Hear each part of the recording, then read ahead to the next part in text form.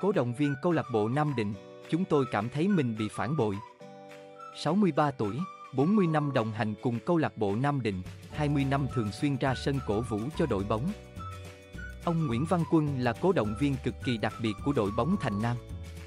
Ông là người lĩnh sướng cho những màn hò reo cổ vũ câu lạc bộ Nam Định. Tạo nên nét đẹp đặc biệt của chảo lửa, thiên trường. Cố động viên Nguyễn Văn Quân luôn yêu đội bóng nhưng tình yêu ấy đang bị tổn thương.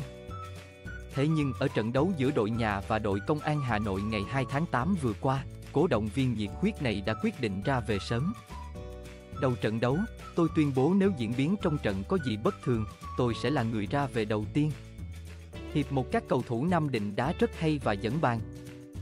Tuy nhiên đến phút 61 khi huấn luyện viên Vũ Hồng Việt thay ngoại binh Coutinho vốn đang chơi hay thì không còn gì để nói.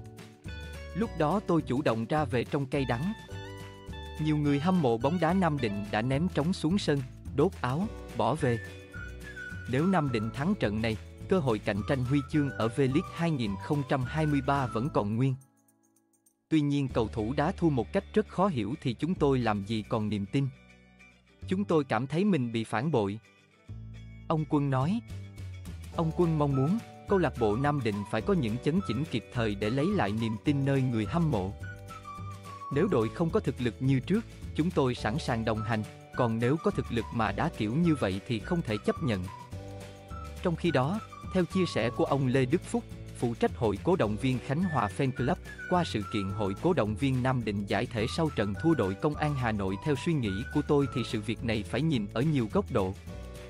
Nếu sau trận đấu lãnh đạo đội Nam Định gặp hội cố động viên giải thích rõ ràng thì sẽ không có hậu quả như hôm nay.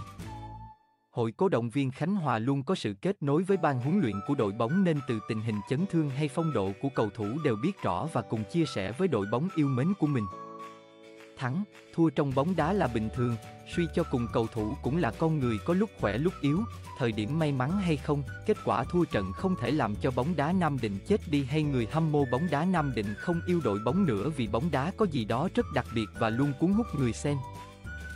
Nếu thi đấu trung thực, Im lặng hay giải thể không phải là giải pháp tốt vì chúng ta còn phải đồng hành để làm cho bóng đá địa phương nói riêng và Việt Nam nói chung ngày càng được nâng tầm.